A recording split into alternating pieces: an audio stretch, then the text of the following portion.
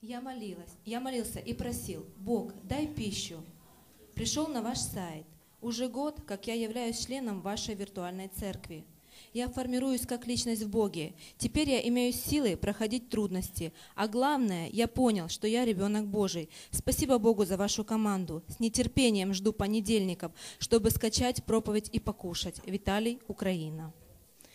Здравствуйте, я с детства верю в Бога и служу Ему. У меня есть конкретная мечта, и я всем сердцем желаю, чтобы она осуществилась.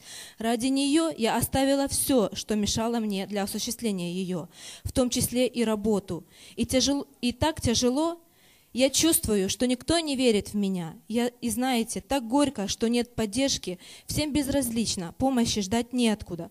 И вот я поняла, что начала сдаваться. Думала все оставить и жить как все – но что-то держит. Сейчас я стою на месте, и, все мои дела никуда не движутся. Но сегодня я увидела вашу проповедь о том, чтобы не сдаваться, верить в свои мечты и добиваться, добиваться их до конца. Эта проповедь была именно для меня. Спасибо вам. Ваши слова меня очень поддержали, вдохновили, и я не, не собираюсь сдаваться. Ваши проповеди нужны людям. Наташа, Украина, Киев. Amen. Аллилуйя.